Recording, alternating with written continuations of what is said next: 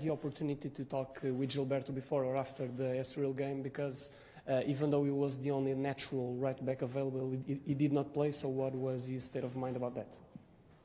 Yeah, of course, I talk to all the players um, always um, when it is necessary, and um, I think yeah, I made a decision last weekend for for Fredrik, Fredrik Aursnes on the right back position. In my opinion, um, Gilberto was a little bit tired, so he played a lot of games, very hard games against Porto, against two times against Inter, and between um, against uh, Chaves. So in my opinion, he was not on his physical wise, not on his top level, and that's why I changed um, to to Fredrik Aursnes.